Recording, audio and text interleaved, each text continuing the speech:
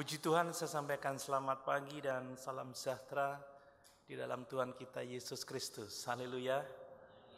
Sungguh bersyukur kalau kita boleh kembali bersama-sama bersekutu dalam ibadah, baik di ruangan ini maupun di rumah masing-masing. Kalau kita dalam keadaan baik, itu semua karena kemurahan Tuhan.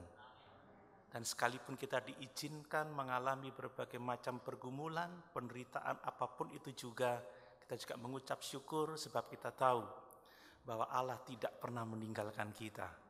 Allah tidak pernah membiarkan kita, dia turut bekerja di dalam segala perkara untuk kebaikan kita. Mari kita membaca firman Tuhan dalam 2 Petrus pasal 1. Nah sekarang kita akan melihat ayat 5 sampai ayat yang ke-7. 2 Petrus pasal 1 ayat 5 sampai ayat 7.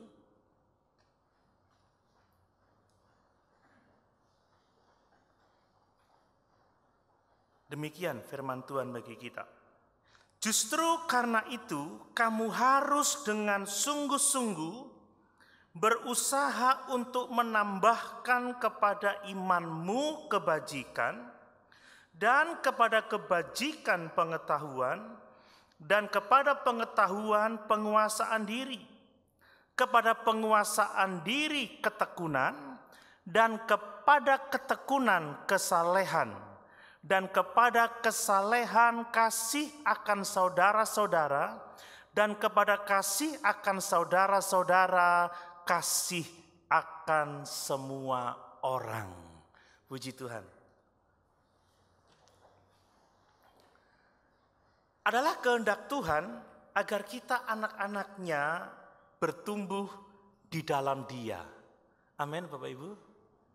Tuhan menghendaki supaya kita orang-orang percaya terus bertumbuh menjadi dewasa rohani. Tambah hari, tambah dewasa, bertumbuh di dalam iman, bertumbuh di dalam Tuhan, sampai pada akhirnya kita dapat menghasilkan buah-buah kebenaran, buah-buah roh baik itu dalam perkataan yang merupakan hikmat, pengetahuan yang benar, maupun dalam bentuk tindakan atau sikap hidup kita sehari-hari. Anak Tuhan harus terus bertumbuh di dalam Tuhan. Untuk itu kita harus selalu mengingat perkataan Tuhan dan Juru Selamat kita Yesus Kristus, bahwa sesungguhnya kapak itu sudah tersedia di akar pohon. Kalau pohon yang tidak ditemukan menghasilkan buah akan ditebang dan dicampakkan ke dalam api yang menyala-nyala. Itu sebabnya pastikan bahwa kita terus bertumbuh di dalam Tuhan dan berbuah-buah untuk kemuliaan Tuhan. Amin. Bicara tentang pertumbuhan ini saudara, saya bersyukur, kita semua bersyukur kalau kita melihat ada banyak anak-anak Tuhan, ada banyak orang-orang percaya yang memiliki kerinduan untuk terus bertumbuh di dalam Tuhan. Dan biasanya yang mempunyai kerinduan yang hebat itu adalah orang-orang yang baru di dalam iman. Orang-orang yang baru menerima uh, keselamatan di dalam Tuhan kita Yesus Kristus. Mereka begitu aktif bergereja, begitu aktif beribadah, terlibat dalam pelayanan pekerjaan Tuhan. Mereka berdoa, mereka membaca Alkitab, mereka melakukan apa yang diperlukan untuk bertumbuh di dalam Tuhan. Tapi tidak jarang saudara, seiring dengan waktu, semangat untuk bertumbuh itu memudar. Karena ada masalah, ada kekecewaan, ada pergumulan, ya ada penderitaan, semangat untuk bertumbuh sudah mulai turun. Yang dulunya rajin bergereja, rajin beribadah, lama-lama sudah mulai uh, berkurang, cukup hari Minggu saja mungkin begitu. Yang dulunya berdoa dengan bersungguh-sungguh sudah mulai sekedar berdoa. Yang dulunya aktif melayani sudah mulai menarik diri, mengurangi pelayanan. Ini hal yang sering kali terjadi banyak orang yang pada akhirnya mulai berpuas diri. Sudahlah, pokoknya aku ke gereja seminggu sekali cukup. Ya, datang ya sudah, pulang selesai. Waktunya mau mulai datang selesai, pulang sudah. Pokoknya aku sudah cukup ini, ini cukup bagi saya. Banyak orang yang berpuas diri dan ini perlu menjadi perhatian kita. Kehendak Tuhan kita terus bertumbuh di dalam Dia. Amin. Kita harus benar-benar waspada. Kita harus memperhatikan kehidupan rohani kita. Jangan sampai kita sudah berhenti bertumbuh. Jangan sampai kita stagnan, jadi pohon yang bantut tidak berkembang, apalagi berbuah-buah. Jangan sampai kita terjebak pada kondisi rohani yang tidak mengalami pertumbuhan apa-apa. Saudara, saya mau mengingatkan bahwa sekalipun kita sudah menjadi orang Kristen selama bertahun-tahun, mungkin kita bangga saya sudah 10 tahun, 20 tahun, 30 tahun menjadi Kristen, tapi ingat saudara, hari-hari hidup kita detik demi detik, waktu demi waktu harus ditandai dengan pertumbuhan di dalam Tuhan. Amin. Kita tidak boleh berhenti bertumbuh sama sekali. Memang kita tidak akan menjadi sempurna selama kita hidup di dunia ini. Hanya nanti pada waktu kita berjumpa dengan Yesus di surga, pada waktu kita melihat dia dalam keadaan yang sebenarnya, kita akan diubahkan menjadi serupa dengan dia. Itu artinya bahwa selama kita hidup di bumi ini, tidak ada yang paling penting daripada kita terus bertumbuh di dalam Tuhan. Amin. Selalu ada ruang untuk kita bertumbuh. Makanya jangan stagnan, saudara. Jangan terjebak, jangan bergerak. Puas secara rohani. Ngomong puas jadi ingat almarhum Bapak Rudi Makal. Puas, puas. ya, jangan sampai kita puas secara rohani. Sudahlah cukup, pokoknya aku kebaktian seminggu sekali cukup. Yang penting aku masih Kristen. Tidak usah wis, yang itu kan bagian orang lain sudah ada yang melakukan. Adalah kehendak Tuhan untuk kita terus bertumbuh. Amin saudara. Dan kita membaca dalam dalam 2 eh, Petrus 1 ayat 5 sampai ayat yang ke-7 ini, tiga ayat ini. Petrus menasihati kita tentang bagaimana seharusnya kita orang percaya terus bertumbuh di dalam Tuhan. Kalau kita simak dengan baik-baik ada kata-kata justru karena itu kamu harus dengan sungguh-sungguh berusaha untuk menambahkan kepada imanmu dan seterusnya dan seterusnya. Ternyata untuk bertumbuh itu perlu usaha. Amin. Bahkan bukan sekedar usaha, tetapi e, berusaha dengan sungguh-sungguh. Dibutuhkan kerja keras, upaya yang sadar dan bersengaja, begitu kalau ilmu pendidikan. Bertumbuh itu harus disengaja, saya mau bertumbuh dan saya berusaha untuk bertumbuh. Dibutuhkan disiplin yang tidak main-main. Dan menarik sekali bahwa yang menulis ayat-ayat ini adalah Rasul Petrus yang pada masa awal pelayanannya bersama dengan Yesus, dia orang yang terkenal eh, ceroboh, dia orang yang terkenal gegabah, impulsif dia. Kadang menggebu tetapi kadang takut, kadang dia terburu-buru dalam banyak hal. Tapi Petrus yang memulai Hidupnya bersama dengan Yesus dengan kecerobohan seperti itu, dia bisa berbicara, dibutuhkan usaha yang sungguh-sungguh, dibutuhkan kerja keras, dibutuhkan disiplin untuk bertumbuh secara rohani dan kita melihat Petrus pada akhirnya menjadi rasul yang sangat dipakai oleh Tuhan. Kalau Petrus, seorang nelayan pengikut Yesus, bisa bertumbuh sedemikian rupa, maka semua orang percaya dia bisa juga bertumbuh seperti Petrus. Amin, saudara. Siapa pun kita. Asal kita mau sungguh-sungguh berusaha. Asal kita mau bekerja keras di dalam Tuhan. Ada disiplin rohani yang kita terapkan dalam hidup ini. Kalau saya simpulkan di awal saudara, dari tiga ayat ini, Petrus berkata kepada kita, karena Tuhan telah menganugerahkan segala sesuatu yang berguna untuk hidup saleh karena Allah telah memanggil kita dengan kuasanya yang hebat dan memberikan janji-janji yang sangat besar dan luar biasa itu. Maka kita harus komitmen untuk terus bertumbuh di dalam Tuhan. Amin. Harus berusaha dengan sungguh-sungguh untuk bertumbuh di dalam Tuhan. Mari pagi ini saudara, sebagaimana Tuhan menghendaki supaya kita terus bertumbuh di dalam dia, mari kita mau berkomitmen untuk terus bertumbuh di dalam Tuhan. Nah, saya akan menyampaikan beberapa hal tentang e, bertumbuh di dalam kesalehan. Bagaimana orang-orang percaya dapat bertumbuh di dalam kesalehan, saudara? Perhatikan yang pertama bahwa untuk kita dapat bertumbuh di dalam kesalehan atau bertumbuh di dalam Tuhan, maka kita harus memastikan bahwa kita sudah benar-benar mempunyai iman yang benar kepada Tuhan dan Juru Selamat kita, Yesus Kristus. Amin. Kita harus punya iman yang benar, iman yang sungguh-sungguh, iman yang hidup, iman yang menyelamatkan Iman yang sama dengan iman para rasul. Iman dengan kualitas sama dengan iman yang dimiliki oleh para rasul. Kalau orang imannya benar, saudara, dia dapat bertumbuh ke arah Kristus. Tetapi ketika orang tidak memiliki iman yang benar, tidak memiliki iman yang sungguh-sungguh ke gereja dia, melayani dia, tetapi tidak mengalami pertumbuhan secara rohani. Tidak ada buah-buah roh, tidak ada hikmat, tidak ada uh, pengetahuan yang benar, tidak ada sikap yang benar seperti uh, Tuhan dan Juru Selamat kita Yesus Kristus. Mengaku Kristen dia, ke gereja dia. Tetapi imannya bukan iman yang hidup, imannya bukan iman yang menyelamatkan.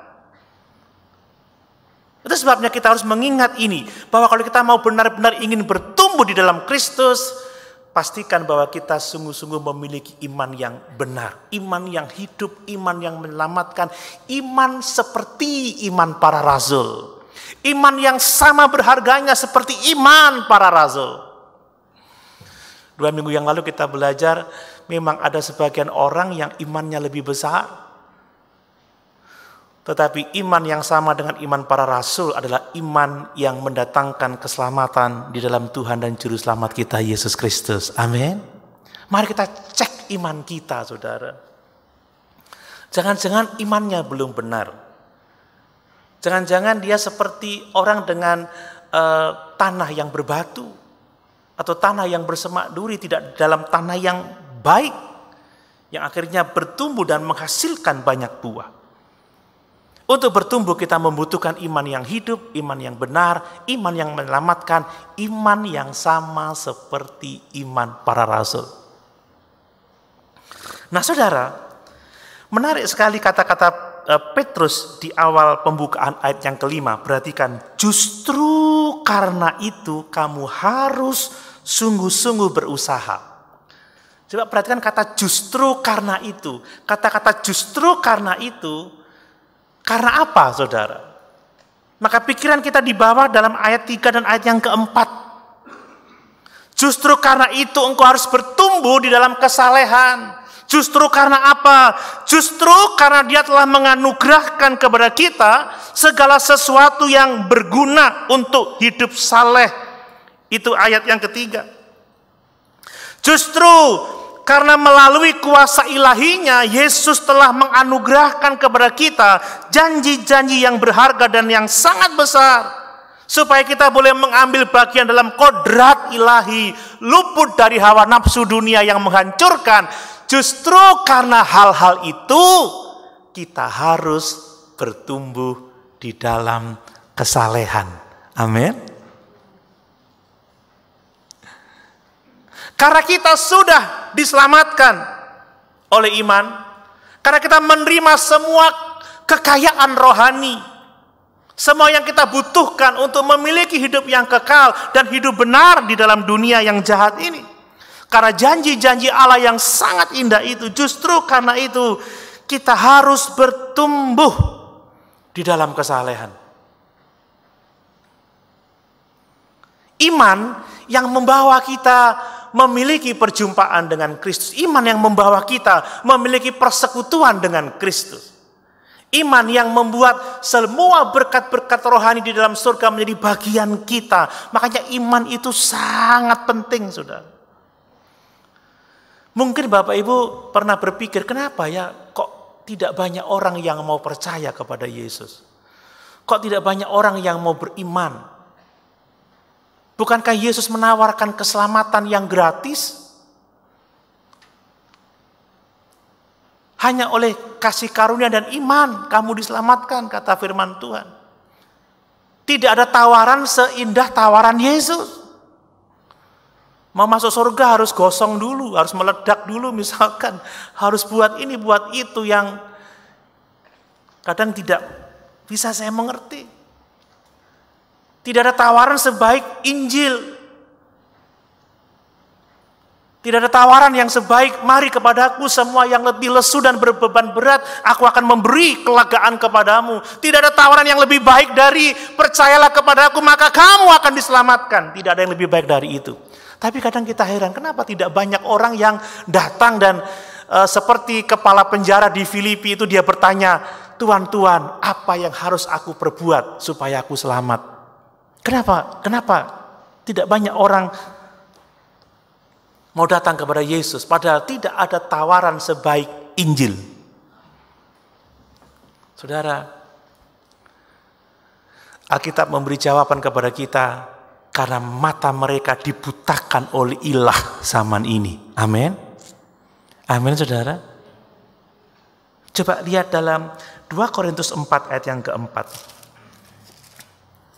2 Korintus 4 ayat yang keempat.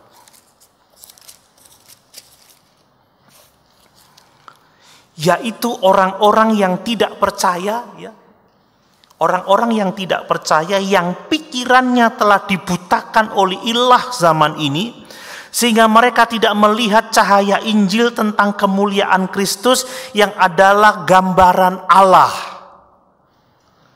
Jadi dibutakan oleh ilah zaman ini. Kita bersyukur mata kita disingkapkan melihat kemuliaan Kristus. Amin saudara. Tidak ada Tuhan yang seindah dia.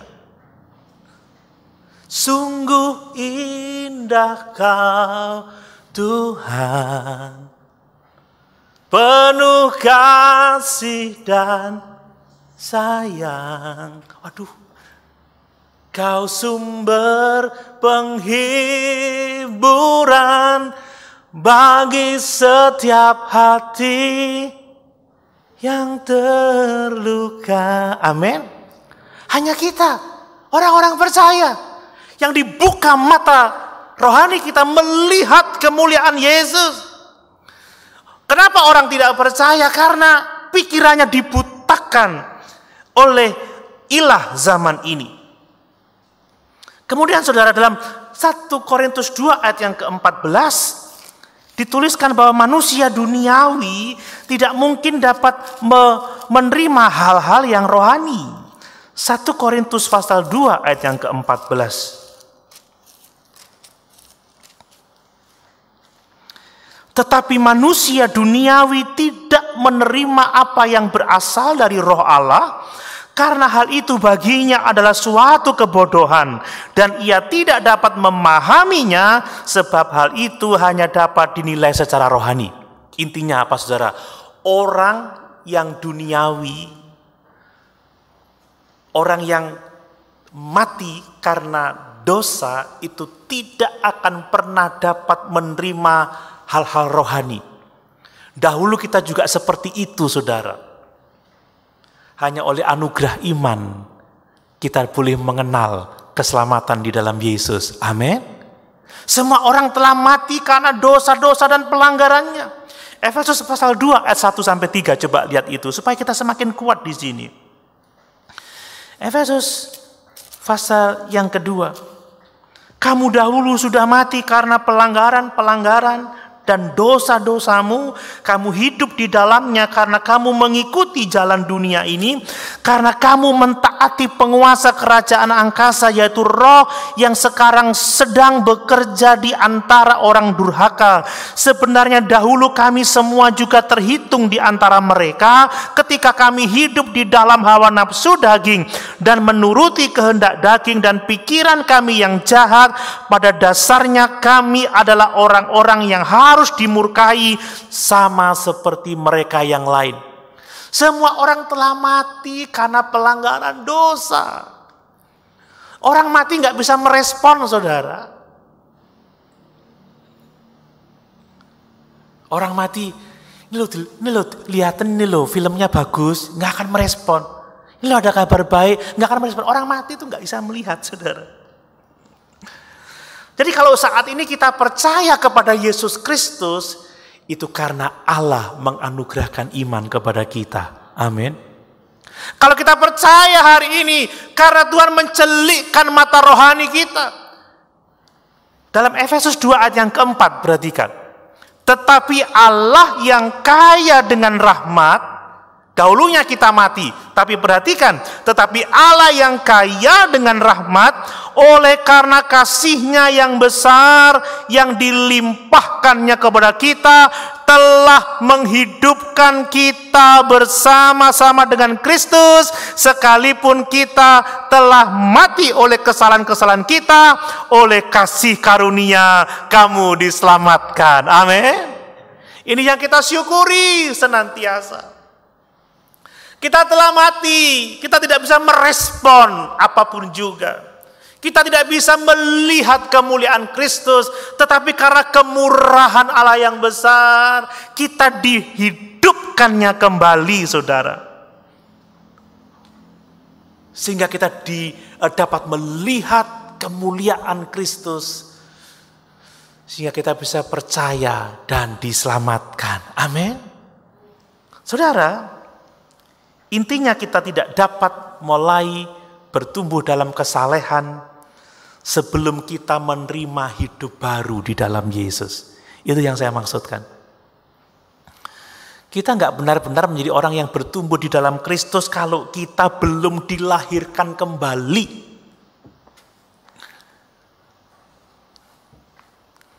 Kita belum dapat bertumbuh ke arah Kristus sebelum kita benar-benar memiliki iman atau menerima iman yang sama dengan rasul-rasul. Coba kembali ke ayat 1 dalam 2 Petrus pasal 1 perhatikan dari Simon Petrus hamba dan rasul Yesus Kristus kepada mereka yang bersama-sama dengan kami memperoleh iman. Iman pun itu anugerah saudara amin. Memperoleh iman oleh karena keadilan Allah dan juru selamat kita Yesus Kristus. Begitu kita percaya kepada Kristus, Tuhan dengan murah hati menganugerahkan segala sesuatu yang kita butuhkan untuk hidup saleh. Dengan kita percaya kepada Yesus, Allah menganugerahkan janji-janji yang sangat besar dan yang luar biasa itu. Hanya oleh iman kita dapat bertumbuh ke arah Kristus. Makanya jangan heran saudara, tidak semua orang yang mengaku Kristen itu imannya benar, imannya hidup, imannya menyelamatkan, imannya sama dengan seperti iman para rasul. Kristen tapi sikapnya, tingkah lakunya tidak mencerminkan buah-buah roh. Seringkali menyakiti, membuli, membuat orang hidupnya tidak baik. Makanya kata Tuhan Yesus, bukan semua orang yang berseru kepadaku Tuhan, Tuhan yang masuk dalam kerajaannya. Tetapi mereka yang melakukan seluruh kehendak Allah. Siapa orang yang bisa melakukan kehendak Allah? Orang yang hidup. Amin saudara. Orang yang dilahirkan kembali. Orang-orang yang menerima anugerah iman. Kalau saudara sudah beroleh iman, kalau orang memperlakukan kita buruk, jangan kita membalas dengan keburukan. Amin. Kalau sudah membalas dengan keburukan, loh, sama kalau gitu. Pada bayi. Sama saja. Iman yang memungkinkan kita bertumbuh di dalam kesalehan. Mungkin kita sedikit bingung saudara dengan uh, apa namanya beberapa kualitas kesalehan yang ditulis oleh Petrus ya. Lihat ayat yang kelima itu. Justru karena itu kamu harus dengan sungguh-sungguh berusaha untuk menambahkan kepada imanmu kebajikan dan kepada kebajikan pengetahuan dan seterusnya. Loh, kok menambahkan kepada iman kebajikan? Kalau gitu iman tidak cukup. Kalau gitu iman plus kebajikan, kalau gitu iman plus perbuatan. Tidak, tidak saudara. Petrus tidak bicara seperti ini. Kadang orang bisa salah paham. Keselamatan itu adalah iman plus perbuatan. Karena tambahkan pada imanmu kebajikan. Tapi kalau kita membaca ayat 1, kepada mereka yang bersama-sama dengan kami memperoleh iman. Jadi maksudnya Petrus bukan iman perlu ditambah dengan kebajikan untuk kita selamat tidak, tetapi iman itu adalah dasar fondasi awal bagi kita untuk bertumbuh di dalam kebajikan. Amin. Bertumbuh di dalam pengetahuan, bertumbuh di dalam penguasaan diri, bertumbuh di dalam ketekunan, bertumbuh di dalam kasih kepada saudara-saudara dan kasih kepada semua orang. Jadi percaya dulu memperoleh segala berkat rohani di dalam surga yang memampukan kita untuk hidup saleh, menerima janji-janji Allah yang sangat besar dan sangat berharga itu, baru kita bertumbuh di dalam kebajikan, bertumbuh di dalam pengetahuan, bertumbuh dalam penguasaan diri, dalam ketekunan, bertumbuh dalam kesalehan, bertumbuh dalam kasih akan saudara-saudara dan kasih akan semua orang. Jadi iman itu dasarnya saudara. Jadi bukan iman plus perbuatan. Bukan saudara, iman itu fondasi. Ayat 1, 2 Petrus 1, kita menerima iman. Iman itu anugerah. Jadi untuk bertumbuh dalam kesalehan, pertama-tama kita harus memiliki iman yang hidup, iman yang menyelamatkan, iman seperti yang dimiliki oleh para rasul.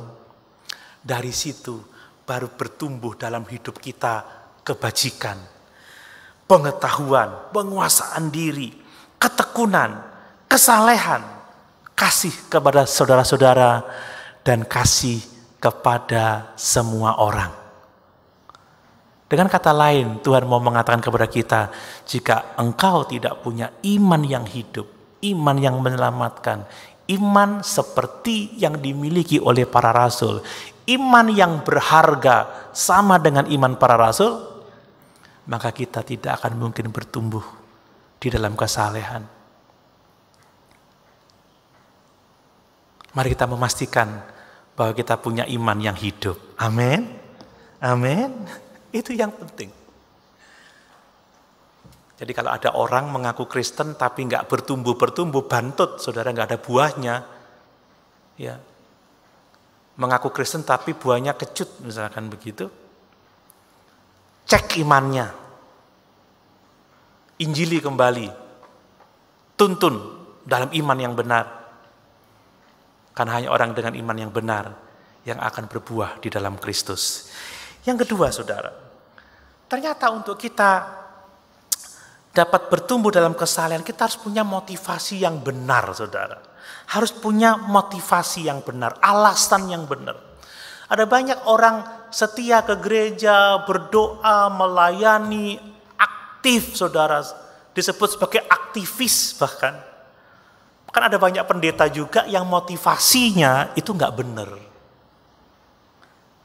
Kalau seperti itu kita tidak akan bisa bertumbuh dengan benar ada kendala sedikit, ada masalah sedikit, ada tantangan sedikit, sudah stagnan lagi.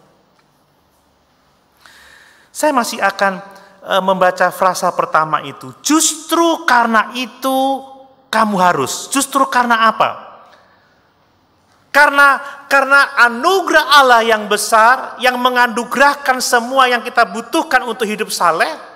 Karena kita telah dipanggil kepada janji-janji Allah yang sangat besar dan berharga, kita harus bertumbuh di dalam kesalehan. Artinya apa saudara?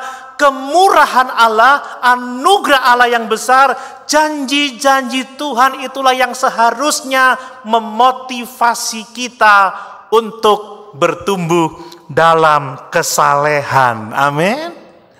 Alasannya karena Tuhan. Aku setia karena Tuhan telah menganugerahkan kepadaku keselamatan. Aku rajin karena Tuhan telah menganugerahkan janji-janji yang sangat berharga.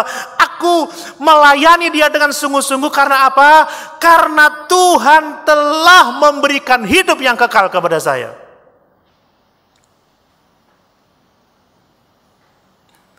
Itu alasan yang dibutuhkan untuk kita benar-benar bertumbuh di dalam Kristus. Sekali lagi saudara, motivasi itu sangat penting dari semua apa yang kita lakukan. Paulus berkata apa? Dalam 1 Korintus 12, sekalipun aku dapat begini, dapat begitu, mengorbankan diri, mati, terbakar untuk orang lain. Tapi kalau motivasinya salah, bukan karena kasih, semuanya sia, sia-sia. Saudara melakukan hal yang baik dipuji oleh orang banyak.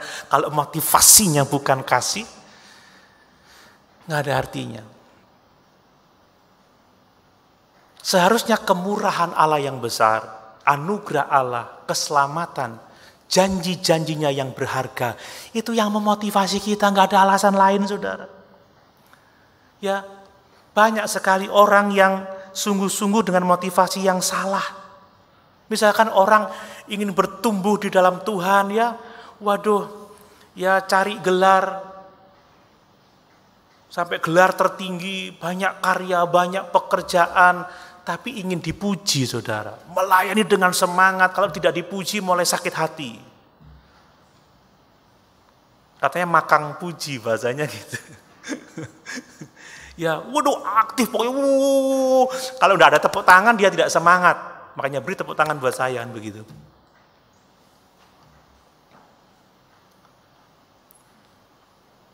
Saling meninggikan diri, menjatuhkan yang lain. Berprestasi tetapi motivasinya salah. Atau banyak orang dia rajin, setia, berdoa, melayani. Tujuannya supaya apa? Supaya Tuhan memberkati keluargaku, menyelesaikan masalahku, membereskan bisnisku. Memang ini sepertinya lebih baik daripada keangkuhan, kesombongan, tetapi tetap itu motivasi yang salah. Tapi jangan salah paham dulu saudara ya. Tidak salah saudara kalau kita ingin berkat Tuhan atas kita. Tuhan berkati hidupku, berkati rumah tanggaku, berkati bisnisku, berkati pelayananku. Tetapi motivasi dari semuanya itu adalah supaya dengan berkat-berkat itu aku dapat memuliakan Tuhan. Amin. Saudara, mintalah berkat untuk hidupmu. Mintalah berkat untuk rumah tanggamu. Mintalah berkat untuk bisnismu, pelayananmu. Bahkan kami terus berdoa supaya jemaat diberkati, diberkati, diberkati, diberkati. Tapi motivasinya supaya dengan berkat-berkat itu kita pakai untuk memuliakan Tuhan. Amin. Lihat orang yang kaya untuk dirinya sendiri pada akhirnya mati pada malam itu tidak punya apa-apa. Orang yang pandai untuk kesombongan, orang yang yang yang melakukan banyak hal hanya untuk e, mendapatkan kepuasan diri sendiri, tapi jauh dari memuliakan Tuhan, jauh dari melayani Tuhan, jauh dari memberitakan kebenaran. Kata Paulus, Aku nggak peduli dengan apa penilaian orang. Bagiku yang penting aku menyenangkan Tuhan. Amin. Kita tambah pinter, tambah gelar, dengan itu memuliakan Tuhan. Kita tambah diberkati, kita tambah sehat, itu untuk memuliakan Tuhan. Kita tambah memiliki banyak hal, itu untuk memuliakan Tuhan. Ini motivasi yang benar. Dan hanya dengan motivasi yang benar saudara, kita akan dapat melayani Tuhan. Tuhan yang telah memanggil kita uh, dari dalam kegelapan menuju kepada terangnya aja yang ajaib. Tuhan yang menjadikan kita imamat yang rajani, umat yang kudus. Itu yang memotivasi kita untuk melayani dan terus bertumbuh di dalam Tuhan. Itu motivasi yang harus kita miliki di dalam kita bertumbuh di dalam Tuhan. Amin. Jangan salah motivasi. Tuhan berkati aku supaya aku bisa jalan-jalan senang-senang, hura-hura. Tidak, saudara. Tuhan berkati aku supaya dengan berkat itu aku melayani engkau dengan lebih lagi. Aku memuliakan engkau, aku mengagungkan engkau. Amin. Motivasi yang benar sangat dibutuhkan. Saudara, Petrus sering kali menunjukkan bahwa anugerah Allah itu menjadi motivasi terbesarnya untuk memberikan hidupnya sepenuhnya kepada Tuhan. Untuk bekerja keras, untuk melayani Tuhan. Coba kita lihat dalam 1 Korintus 15 ayat yang ke-10. 1 Korintus pasal 15 ayat yang ke-10. Tetapi karena kasih karunia Allah aku adalah sebagaimana aku ada sekarang. Dan kasih karunia yang dianugerahkannya kepadaku tidak sia-sia. Sebaliknya aku telah bekerja lebih keras daripada mereka semua. Tetapi bukannya aku, melainkan kasih karunia Allah yang menyertai aku. Amin kasih karunia yang mendorong dia untuk bekerja keras, untuk melayani lebih hebat daripada rasul-rasul yang lain. Bahkan dia bisa mengatakan tidak ada yang lebih bekerja keras selain dia. Dia membanggakan apa yang dia lakukan, ya dicambuk 40 kali kurang satu, dilempari batu, dianiaya, bahaya kelaparan, bahaya di laut, bahaya di darat. Kenapa dia mau melakukan itu? Dia mengajar jemaat siang dan malam, dia tidak melalaikan apa yang harus dia katakan kepada jemaat. Dia bersungguh-sungguh dalam melayani Tuhan. Kenapa? Karena kasih karunia Allah itu motivasinya. Bukan karena aku ingin dipandang hebat, aku ingin dihargai, terkenal, viral.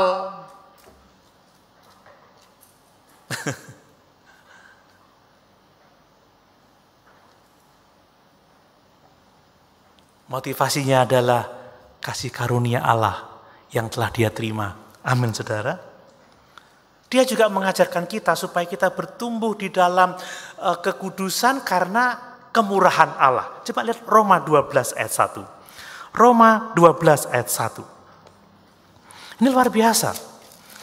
Kita diajar untuk memperbaiki motivasi kita. Roma 12 ayat 1. Karena itu saudara-saudara, demi kemurahan Allah, perhatikan itu, demi kemurahan Allah, Aku menasihatkan kamu supaya kamu mempersembahkan tubuhmu sebagai persembahan yang hidup, yang kudus, dan yang berkenan kepada Allah. Itu adalah ibadahmu yang sejati. Amin. Kita beribadah. Kita mempersembahkan tubuh kita, hidup kita, semua yang kita punya. Bukan untuk kebanggaan sendiri, bukan untuk pujian yang sia-sia Bukan untuk alasan yang lain, tetapi demi kemurahan Allah. Kemurahan Allah yang seperti apa? Dalam Roma pasal yang ke-11 ada banyak berkat-berkat yang diberikan kepada kita orang-orang percaya. Kemurahan Allah, kebaikan Allah yang harusnya mendorong kita untuk memberikan seluruh hidup kita kepada Tuhan.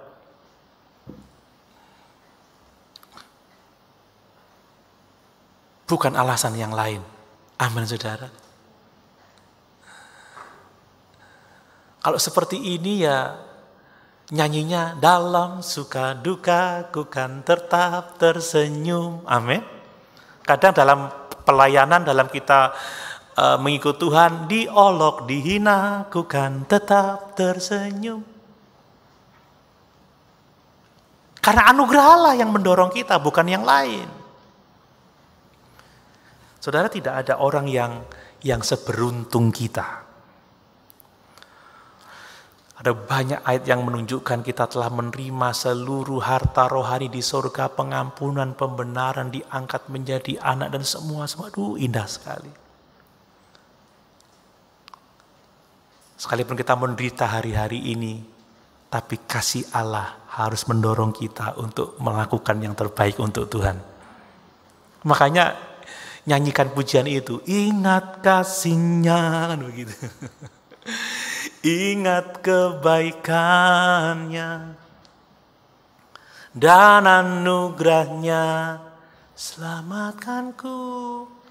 Jangan sampai ngomong katanya Tuhan baik, aduh saudara bahaya itu. Masih berdosa aja dia memberikan anaknya, anaknya memberikan nyawanya. Mengaruniakan iman kepada kita. Kadang kita masih saja menghitung-hitung katanya Tuhan baik, eh dia baik. Sekalipun kita menderita hari ini, mungkin kita terpapar COVID hari ini, Tuhan tetap baik bagi kita.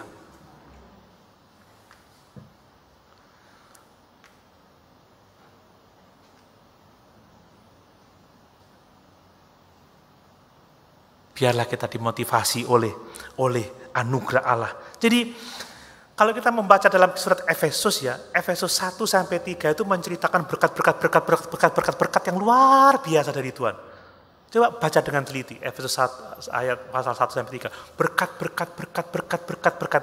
Lalu pasal 4 dan seterusnya kita dianjurkan atas berkat-berkat yang besar itu untuk hidup di dalam kesalehan. Jangan sampai kita salah motivasi. Amin. Karena Tuhan tidak akan eh, terpesona dengan apa yang kita buat. Tapi dia memperhatikan motivasi yang ada di dalam hidup kita. Amin. Yang ketiga saudara. Kalau kita mau benar-benar bertumbuh dalam kesalehan, kita harus mulai komitmen untuk dengan sungguh-sungguh berusaha Kita harus mau bekerja keras untuk bertumbuh di dalam kesalehan itu. Jelas sekali dikatakan dalam ayat yang kelima itu, justru karena itu kamu harus dengan sungguh-sungguh berusaha. Apakah Bapak Ibu ingin bertumbuh? Amin. Kita bisa mengatakan, ya saya ingin bertumbuh. Tapi persoalannya, apakah kita telah sungguh-sungguh berusaha. Atau hanya sekedar ingin, tetapi tidak melakukan apa-apa. Banyak orang ingin ke gereja pagi, misalkan waktu kita kebaktian jam 6 dulu. Tapi tidurnya sampai jam 2 pagi. Kan begitu, jadi aduh om kesiangan, Kepingin tapi tidak sungguh-sungguh berusaha. Kepingin bisa main gitar, tapi pegang gitar sebulan sekali. Saya pernah membaca buku kalau mahir main gitar itu sehari minimal dua jam.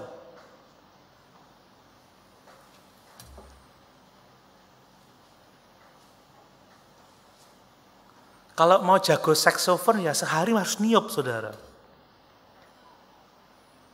Joshua di sekolahnya dipanggil Bang Tiup, tapi sudah jarang niup sekarang. Kalau mau latihan aja baru tiup. Kalau nggak sering tiup ya nggak bisa akan mahir.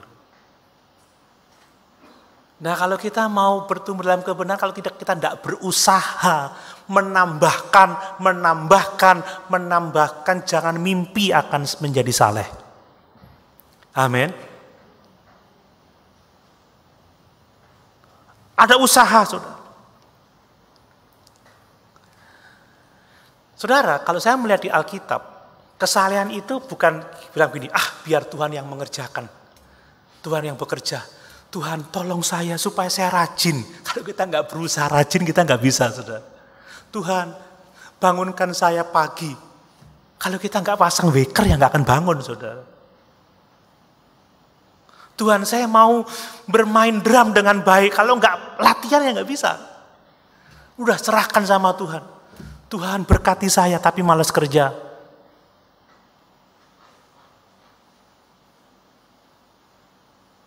Atau gini, Tuhan sudah melakukan bagiannya, sekarang terserah kita. Kita melakukan tanpa doa, melakukan tanpa pimpinan firman, kita melakukannya sendiri. Tidak bisa begitu. Justru karena Allah memberikan kepada kita seluruh berkat, seluruh hal yang kita butuhkan untuk hidup saleh, justru arah Allah menganugerahkan janji-janji yang besar kepada kita. Justru di saat itulah kita bekerja dengan sungguh-sungguh untuk menambahkan pada iman kita kebajikan dan seterusnya itu. Amin. Justru karena kita dilimpahi dengan kebaikan Allah, di situ kita bekerja. Jadi intinya apa saudara? Kesalehan itu dibutuhkan Tuhan sebagai sumber, sebagai dasar, dan juga usaha kita untuk menjadi saleh. Tapi bukan iman plus ya, tetapi iman itu dasar, fondasi untuk kita dapat memiliki kesalahan-kesalahan yang lain itu. Paulus juga melakukan hal yang sama, saudara. Coba lihat di dalam Filipi 2 ayat 12 sampai 13.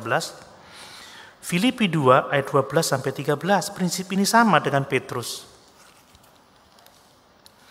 Filipi 2 ayat 12 sampai 13. Hai saudara-saudaraku yang kekasih, kamu senantiasa taat.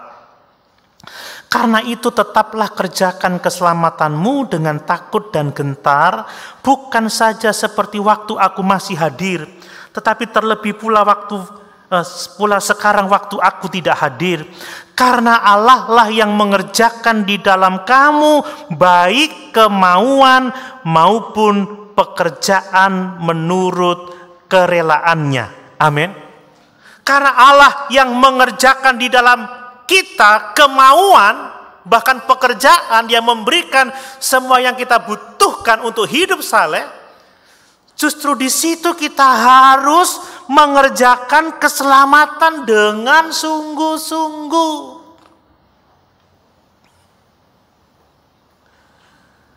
Saya khawatir ada banyak yang stagnan hari-hari ini karena virus corona. Berusaha ke gereja tidak, ikut Live streaming juga tidak. Tapi goesnya jalan terus.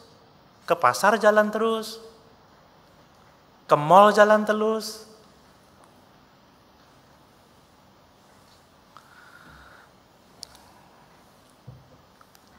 Nang gereja wedi, tapi nang pasar dengan gagah perkasa. kan seperti itu. Pengen diberkati tetapi menjauh dari Tuhan. Misalkan seperti itu. Pertumbuhan rohani selalu melibatkan kuasa Tuhan, berkat Tuhan, anugerah Tuhan, kasih karunia Tuhan, dan ada upaya kita, usaha kita untuk menambahkan kesalehan dalam hidup kita. Saudara, ini tantangan terbesar bagi kita hari-hari ini. Coba kita bertanya apakah kita stagnan hari-hari ini? Kita sudah berpuas diri dengan apa yang ada, kita nggak bertumbuh lagi?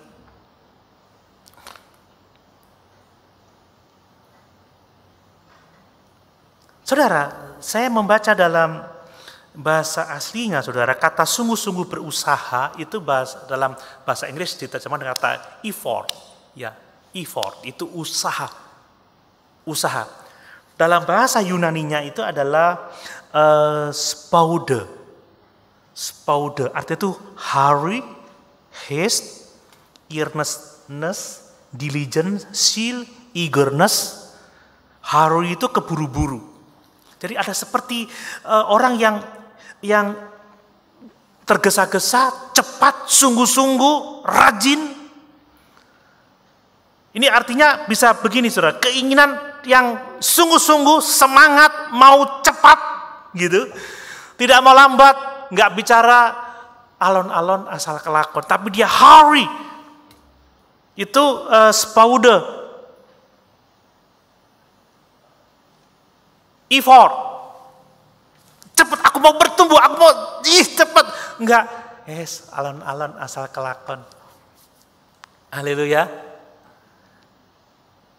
Tenang, Belanda masih jauh. Belanda memang jauh, saudara.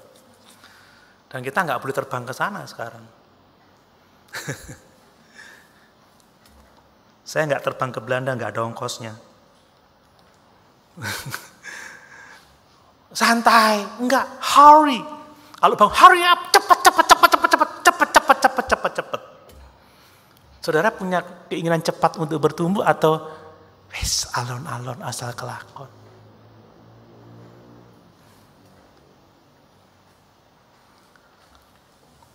Jadi kalau mau bertumbuh dalam kesalehan, miliki semangat, keinginan, kita mau segera bertumbuh, kita semangat untuk menggapainya. Kemudian kata menambahkan ya. Memang dalam bahasa itu add ya, menambahkan add.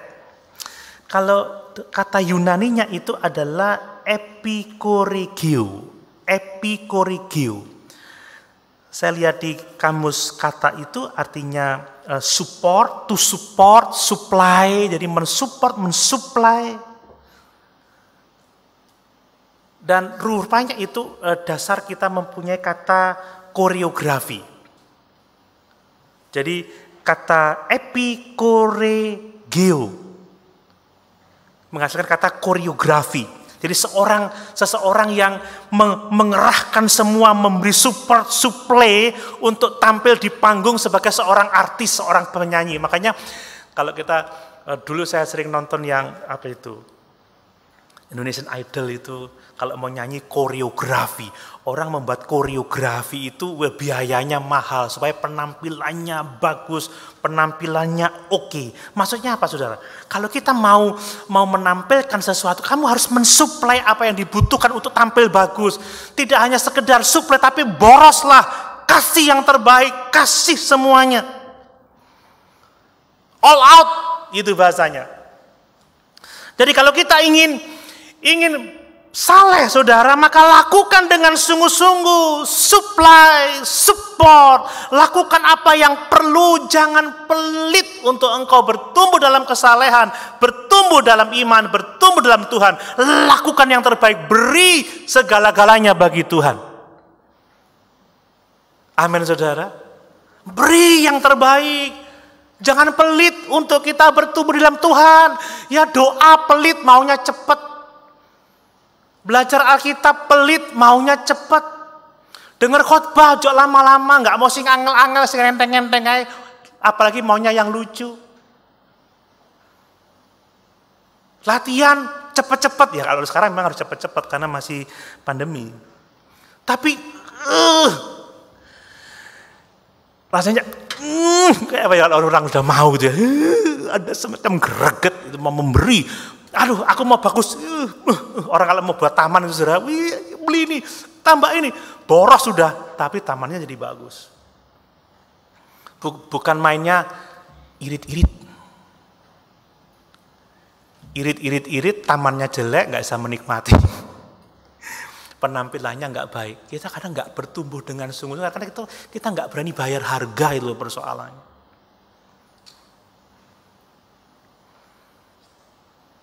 Kita tidak jarang dengar keluhan, capek, kesel, suwe. Loh saudara kalau mau bertumbuh harus suwe. Kalau olahraga mau berhasil latihannya butuh waktu. Kalau mau mempertahankan berat badan ya sepedaan cuma tiga menit ya. Aku sepedaan loh tiap hari om, berang menit? Limang menit yo gak turun-turun berat badannya. Sabar sampai minimal 30 menit. Kalau perlu tambahin lagi 45 menit, boros kan begitu. Haleluya. Saya rindu melihat senyum Bapak Ibu sebenarnya, tapi tidak bisa. Kita harus berjuang dengan sungguh-sungguh. Amin saudara. Coba lihat 1 Korintus 15 ayat 10. 1 Korintus 15 ayat 10. 1 Korintus 15 ayat 10. Tetapi karena kasih karunia Allah, aku adalah sebagaimana aku ada sekarang. Dan kasih karunia yang dianugerahkannya kepadaku tidak sia-sia. Sebaliknya aku telah bekerja lebih keras. Perhatikan itu saudara. Bekerja lebih keras daripada mereka semua. Tetapi bukannya aku melainkan kasih karunia Allah yang menyertai aku. Tekanannya bekerja lebih keras, gak mau irit-irit tenaga, gak mau irit-irit waktu, tapi me, tumpahkan sepenuhnya. Saudara sudah mulai melihat jam sekarang? Atau menumpahkan semuanya untuk Tuhan, untuk belajar firman-Nya.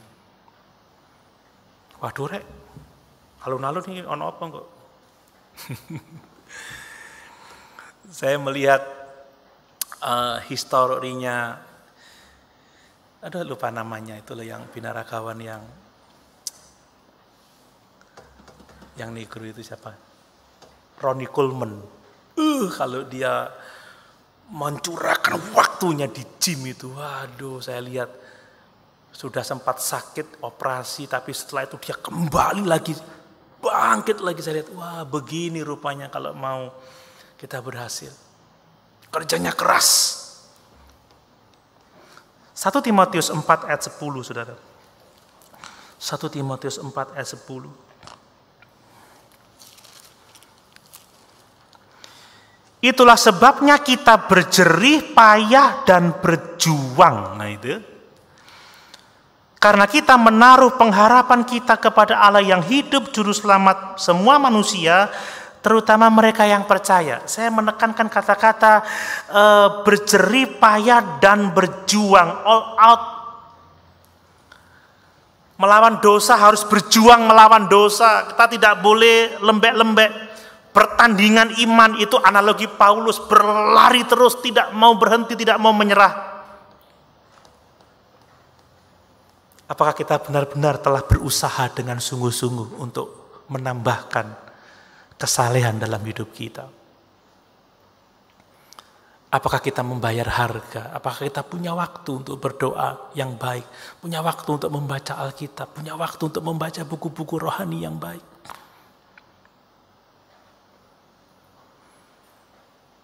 Ibadah dengan jenak gitu, sungguh-sungguh.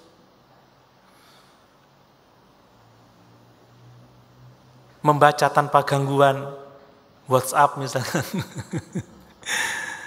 Baru pada mulai pada mulanya adalah firman. Eh, ya ente ke mana ya?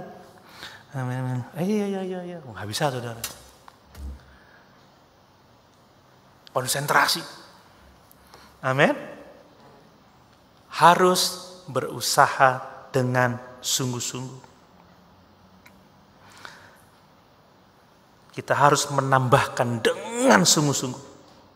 Tidak separuh-separuh. Perlu kerja keras. Yang terakhir saudara. Untuk kita bertumbuh dalam kesalehan, kita harus benar-benar menambahkan hal-hal yang dikemukakan oleh Petrus ini. Sekali lagi saudara, kadang-kadang eh, kita berpikir Kok kenapa Petrus memilih kata-kata itu? Kenapa harus urutannya seperti itu? Saudara jangan terlalu khawatir dengan urutan-urutan itu karena e, Paulus juga punya urutannya yang lain seperti buah-buah roh ya. Buah roh adalah kasih, sukacita, damai sejahtera, kebaikan. Itu tidak sama dengan dengan urutan Petrus. Kadang ada yang ada di tempatnya Petrus, ada yang tidak ada di tempat, eh, maaf ada ada yang tidak ada di tempatnya Petrus dari urutan-urutan itu. Bapak Ibu bisa cek di di di, di rumah di Alkitab masing-masing. Tapi saya melihat sepertinya urutan ini dibuat karena Petrus sedang merespon sikap-sikap negatif yang ada pada nabi-nabi palsu. Yang ditulis pada pasal yang kedua. Coba lihat eh, dalam 2 Petrus 2 ayat yang kedua misalnya saudara lihat itu banyak orang akan mengikuti cara hidup mereka yang dikuasai hawa nafsu dan karena mereka jalan kebenaran akan dihujat. Jadi dia berbicara tentang, tentang apa? Penguasaan diri, misalkan seperti itu. Kemudian ayat yang ke-10. Ayat 10. Terutama mereka yang menuruti hawa nafsu nya karena ingin mencemarkan diri dan yang menghina pemerintahan Allah. Mereka begitu berani dan angkuh sehingga tidak segan-segan menghujat kemuliaan. Mereka tidak punya pengetahuan yang yang yang benar tentang Allah misalkan. Kita tidak usah terlalu khawatir dengan urutan-urutan itu. Tapi yang penting adalah bahwa iman itu sebagai fondasi. Percaya dulu, memiliki iman yang benar dulu, baru kita bisa menumbuhkan kebajikan, pengetahuan, uh, ketekunan dan yang lain sebagainya itu. Saya mau melihat sedikit-sedikit tentang itu, saudara. Dikatakan uh, menambahkan kepada imanmu kebajikan. Apa yang dimaksud dengan kebajikan? Saudara, kalau kita membaca mulai ayat 1 tentang Yesus Kristus, tentang kuasa ilahinya yang menganugerahkan kepada kita segala sesuatu yang berguna untuk hidup saleh, tentang uh, janji-janjinya yang luar biasa, saya berpikir bahwa kesalehan itu adalah keserupaan dengan Kristus. Amin. Orang beriman harus terus berusaha supaya semakin hari semakin dia serupa dengan Kristus. Memiliki karakter yang seperti Kristus, memiliki moralnya Kristus. Kalau Yesus dia taat kepada Bapa, demikianlah kita taat kepada Bapa. Kalau dia lemah lembut dan rendah hati, demikianlah kita harus lemah lembut dan rendah hati. Tambahkan kepada imanmu kebajikan, maksudnya sebagai orang-orang percaya, engkau harus hidup dalam keserupaan dengan Kristus. Kemudian tambahkan kepada kebajikan pengetahuan. Ini bukan sekedar pengetahuan teologi, pure pengetahuan, tetapi pengetahuan praktis tentang bagaimana kita hidup di dunia ini. Melalui Alkitab kita memiliki banyak pengetahuan tuntunan bagaimana kita berpikir, bagaimana kita merasa, bagaimana kita berkehendak, bagaimana kita berkata-kata, bagaimana kita bersikap. Ini yang menolong kita untuk bertumbuh dalam kesalehan. Kepada pengetahuan adalah penguasaan diri. Saudara, orang-orang percaya harus belajar menguasai diri. Kata-kata menguasai diri ini uh, atau kualitas menguasai diri ini Paulus sebutkan sebagai buah roh yang terakhir, penguasaan diri. Dan Paulus bicara ini mengenai seorang, seorang atlet. Kalau orang menjadi atlet itu saudara harus harus punya penguasaan diri. Ya waktunya latihan ya latihan sekalipun lagi nggak pengen latihan ya latihan menguasai uh, kalau mau makan harus tertib, misalkan begitu, waktunya tidur, waktunya apa, harus menguasai diri. Banyak orang sekarang nggak bisa menguasai diri ya.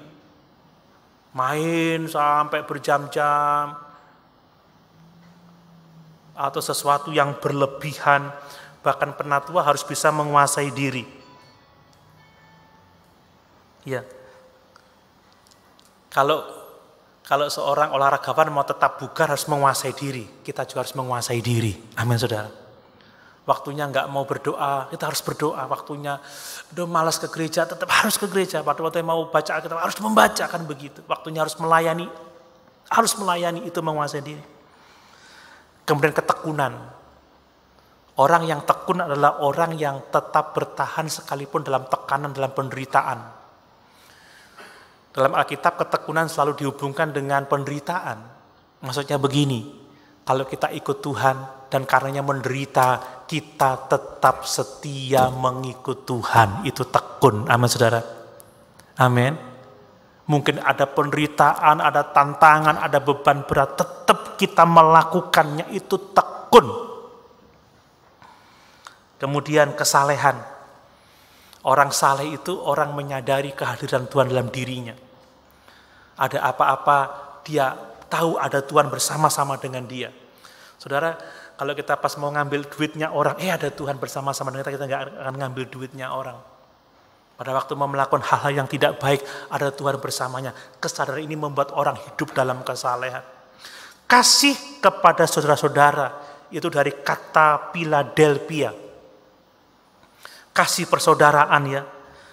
Ya, bersikap baik, saling pengertian, perhatian kepada anggota keluarga, termasuk manusia, karena memang manusia itu adalah keluarga kita, keluarga manusia. Tetapi yang terutama adalah untuk orang-orang dari keluarga Allah, saudara. Kita harus menerima orang-orang yang diterima oleh Allah. Baru kasih kepada semua orang, itu kasih agape. Kualitas kasih ilahi, ya kasih yang yang rela berkorban demi kebaikan orang yang dikasih.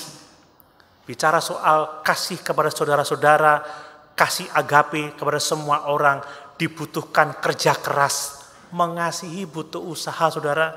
Kadang kita males mengunjungi, kita harus mengunjungi. Kadang kita males untuk menyapa, kita harus menyapa. Males telepon, harus telepon. Kadang kita egois, harus mengalahkan keegoisan kita itu harus diusahakan dengan sungguh-sungguh. Dan yang luar biasa saudara, iman ditutup dengan kasih agape. Amin. Iman dan kasih ini sungguh sangat kita butuhkan. Coba lihat ayat yang terakhir, Galatia 5 ayat yang ke-6. Galatia 5 ayat yang ke-6.